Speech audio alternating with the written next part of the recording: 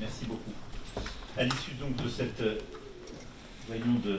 Je finirai mon propos, au-delà de ces remerciements et de cette, euh, ces décisions que nous avons prises, en appelant tous les parents à la responsabilité.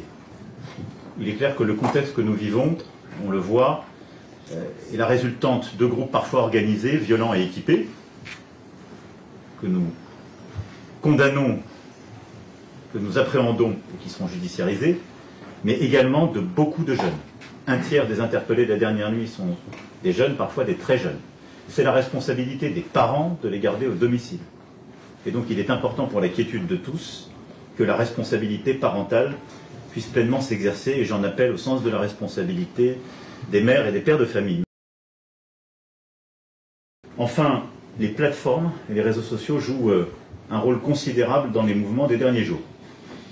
Nous avons vu sur plusieurs d'entre elles, Snapchat, TikTok et, plusieurs autres, à la fois euh, l'organisation de rassemblements violents se faire, mais une forme de mimétisme de la violence, ce qui, chez les plus jeunes, conduit à une forme de sortie du réel.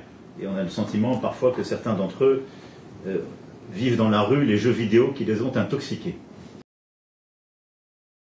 Nous prendrons dans les prochaines heures, et nous avons commencé à l'organiser, plusieurs dispositions. D'abord, en lien avec ces plateformes, d'organiser le, retrait des contenus les plus sensibles. Et donc, euh, les services de l'État s'organiseront en lien avec ces plateformes pour pouvoir obtenir une réponse effective. Et j'attends de ces plateformes l'esprit de responsabilité. les décisions prises aujourd'hui seront déclinées dans les prochaines heures. Je vous remercie, pas simplement pour l'accueil, Monsieur le Ministre, mais la mobilisation du ministère comme de l'ensemble des ministères qui euh, ont été associés à la gestion des dernières heures. Merci beaucoup.